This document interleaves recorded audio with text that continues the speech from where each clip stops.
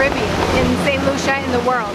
He just completed, unofficially, unratified, he has completed swimming from Barbados to St. Lucia. It will be ratified by the Marathon Swimming Federation once all the documentation is submitted.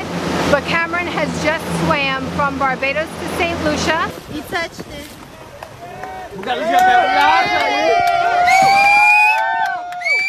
What we noted, what we witnessed was actually touching land. In the rules, it allows for the swimmer, if they cannot stand safely on a point, to actually just touch a piece of rock or piece of land. And we got to witness him actually doing it.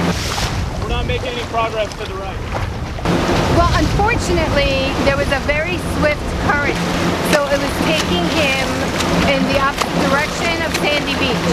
So what we did was we, and that's what you do in open water swimming, in marathon swimming, ultra marathon swimming, is you make allowances for that, so that way the, they can complete the swim successfully. This is actually denoted um, as the longest channel swim in history. And um, the importance of this is just to show that no matter what you put your mind to, you can get it done. No one has, has ever heard of anyone attempting or trying to swim from Barbados to St. Lucia. As far as the length of the swim, Marathon Swimmers Federation has already deemed it um, the longest channel swim attempt. It will be the longest channel swim in history. Yeah, that's it, that's it. Come, come, come.